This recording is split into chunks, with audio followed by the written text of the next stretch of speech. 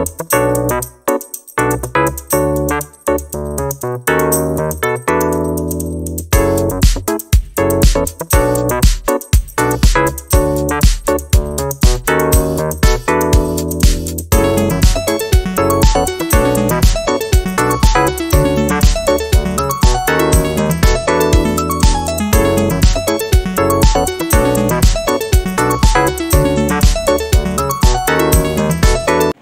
Okay, video tayo mga boss. Ayan.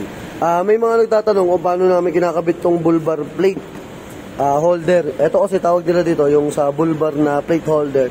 Ngayon, may mga naglalagay kasi nito, ang ginagawa nila, yung kabitan lang ng plaka, dito nila kinakabit. Ngayon, ang ginawa namin nila uni, ayun yung ilalagay natin, ito, yung auxiliary light. Tingnan nyo, ang ginawa namin, ito kasi is ah, nakadirect to sa body. Dito, di ba meron siyang pinaka-chassis dito. Ngayon, ang ginawa namin, binutasan namin to ng additional, tapos nilagyan namin ng spacer sa loob.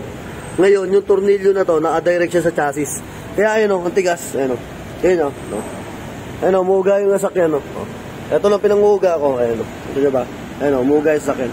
Kasi yung iba, nakikita namin, ang ginagawa nila, dito lang, ito yung kabitan ng pla- plaka. Pag tinanggal nyo kasi kabitan ng plaka, may tornilyuhan na dyan, ayun o. Eh, ang problema, hindi yan nakasama sa chassis, sa, wala to, di ba, sa plastic. Ngayon, hindi katulad nito, ah, sa plaka, ay sa chassis siya nakakabit. Kaya mas matibay, ayan o. Tigas niyan, ayan. Yan. Kasi may mga nagtatanong, hindi daw ba madaling matanggal? Kasi, pag tinanggal nila yung, tina- tinatry nila na tanggalin yung plaka, nakikita nila, andito na agad yung kabitan. Tapos may tornilyo dito yan eh. Yung nakakabit sa chassis. Saan na ba yun? Saan yung dalawang tinanggal natin yun? Eto. Eto yung tornilyo dito sa stock. Maiksi yan. Nakadirect yan sa chassis. Ang ginawa namin, naglagay kami ng spacer, tapos nilag na, nilagyan namin siya ng mahabang tornilyo. Ganito. So. So, yan. Body washer, spacer, tapos directong bolt on sa chassis. Dito, naka-bolt on na yan dito. Kaya matibay na siya. Nga ag- ugayin mo nga. Ayun o. Ayun o. Ayun o. Umuga yung sasakyan o. Tingnan. O, nakita nyo ba? O, ayun o. Tingnan nyo. Sige, ugayin mo nga.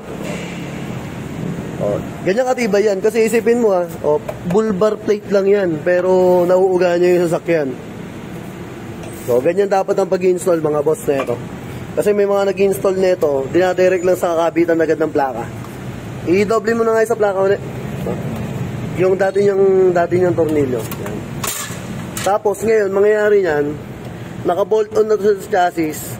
O, tapos doble pa nung sa plaka. Ayun. Madodoble siya nung sa plaka.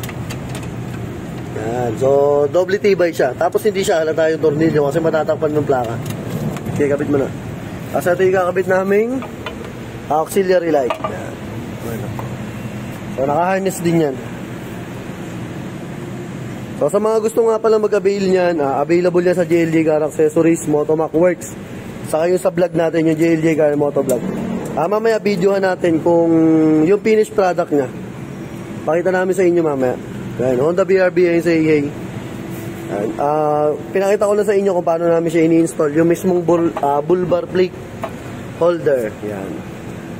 So, ride safe. Ah, sample video tayo mamaya pag gumagana na yung sa mismong ilaw niya.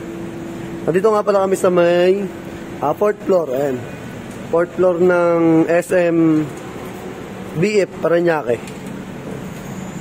So, ride safe. Ah, tulungan ko lang muna si Une tapos ah, next video tayo mamaya.